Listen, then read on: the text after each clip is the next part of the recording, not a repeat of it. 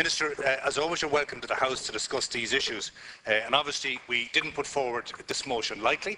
Uh, such motions are sometimes uh, interpreted as being highly political in nature uh, and not with keeping in the best interest of patients uh, and with the configuration of our health services.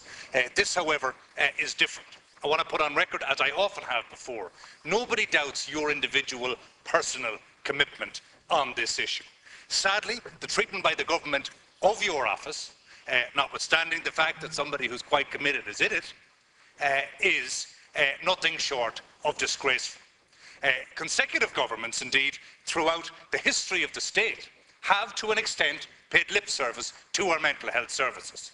Your, uh, the, the, uh, the, the um, evolution of policy up until 2006 was one that none of us were proud of, and finally, a policy, a vision for change was agreed uh, and one which, as you rightly said on the radio this morning, uh, was signed up to uh, by all parties and all members uh, of both houses of that time.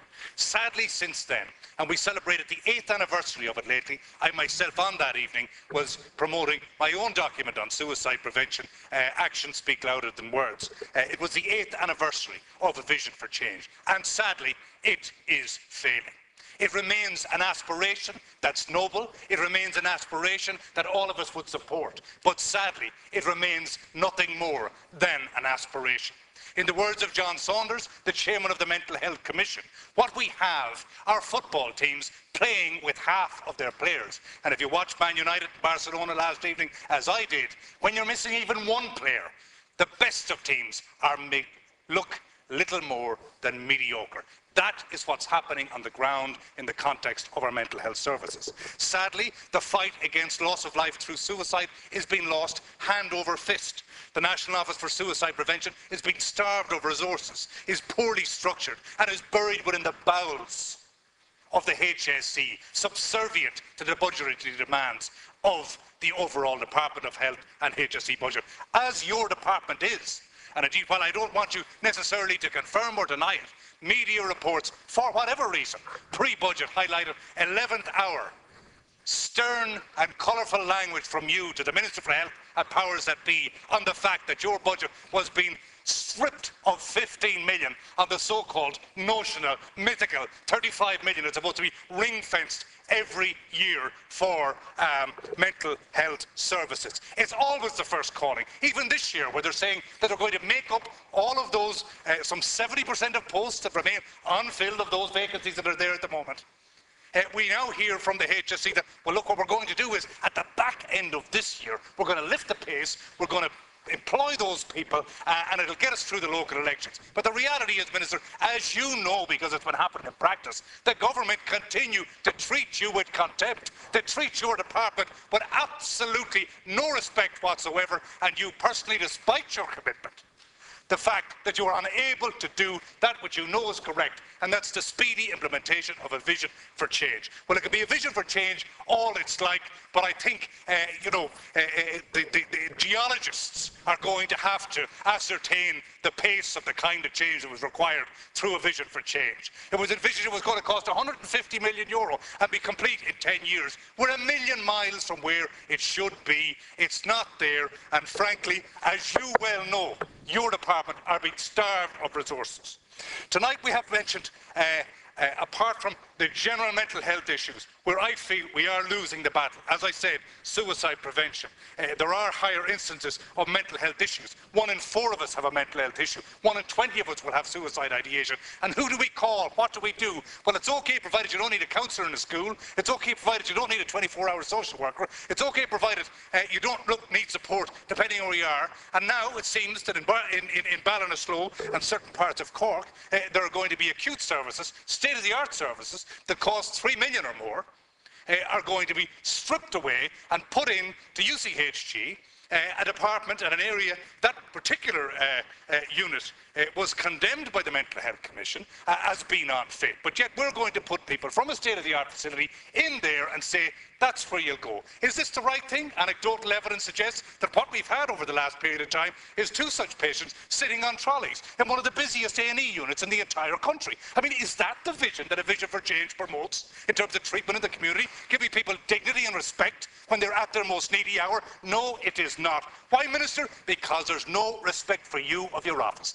Minister Reilly kicks it around kicks it around. I need 10 million, we take it from there. It'll be expeditious to employ those people at the back end of the year. We put it all on the never never, and we don't care who dies or who's ill from a mental health perspective in the meantime. Now, specifically to do with Ballinasloe, let me say that this particular decision was made on a flawed evaluation. I would like to see as with Minister Reilly, indeed in the primary care centres, and how he managed to come up with the criteria that suited himself, what criteria was used to shut down that which is, is exceptionally well built, which has the full facilities, has a staff, which has been described by uh, Dr O'Grady and the 15 GPs in the area as clinically imprudent. What was the criteria and evaluation methodology used. I'm told it dates back to 2006 and definitely couldn't take adequate cognizance of the up-to-date scenario in terms of infrastructure that's in place, whether it's roads, whether it's staff, or anything else.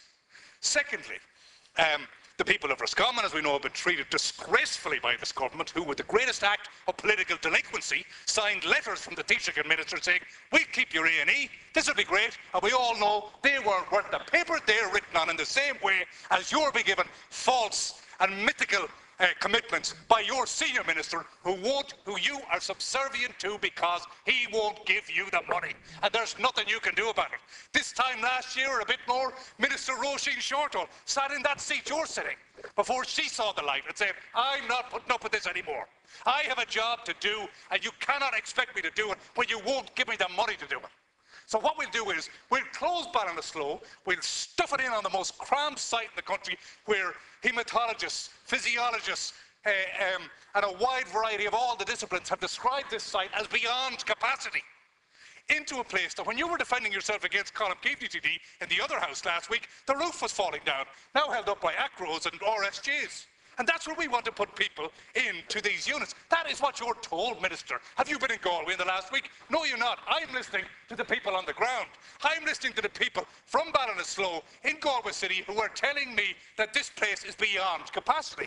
And I would put it to you, Minister, that the choice to stuff this into Galway uh, is in some way placate Roscommon for the disgraceful treatment of them We've lost Deputy Naughten, one of the best that there ever was in Leinster House, and what, uh, because we gave a commitment, we told lies to the people about the A&E, but we must do something now for poor Deputy Frank Feighan, who's going to get cleaned out of it.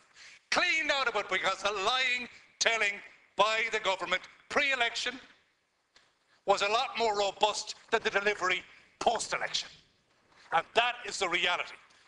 Uh, so what we have is political expediency on one hand, putting Ballinasloe, stuff it into UCHG, uh, placate Roscommon with a promise that, that, that they'll play a part after the disgraceful treatment of them. We also have a flawed evaluation process which dates back to 2006, doesn't take any cognizance of it. And in fact, a very core principle of a vision for change is the fact that there will be a consultative process where the users of the services will be consulted. Tell me, how many users were consulted on this?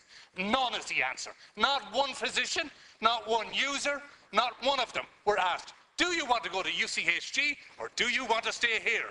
Do you want to stay in the units in Cork that are supposed to be closed down or do you want to stay there? The reality is because of the pressures that are on the system nationally from a staffing point of view, and this has come from the John Saunders of the world uh, and the Dr. McDevitts of the world, who claim, who claim uh, that uh, because of the lack of pace in hiring key nursing staff and other staff that are available, it's making it impossible for them to run inpatient outfits. They're having to pull people from the community. So a vision for change is dead. Why is it change? Minister, I put it to you again.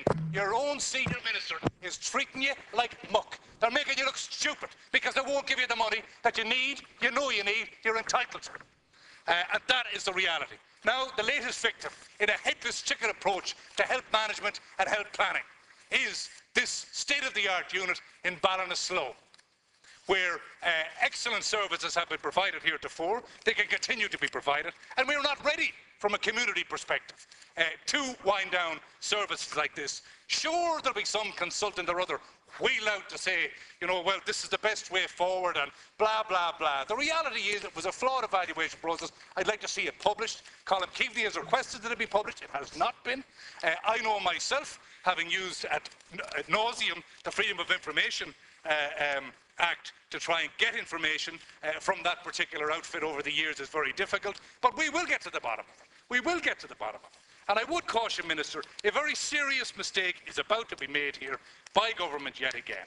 A vision for change is all but dead in the water because of the fact that you are starved of resources. And despite your individual wish to maybe deliver it, or the minister before you, or the minister who wrote it, Johnny Moloney, the reality is it is failing. And it is failing because this government doesn't give a damn about mental health services. Not a tuppenny damn. That is a fact. The proof is in the pudding, but don't take it from me. Thank take you. it from John Saunders, the McDevitt's, and the other people, and the people from Ballinasloe that are here tonight who see the latest innovation in a government's headless Thank- chicken you. approach You to moved- mental health services. moved the motion.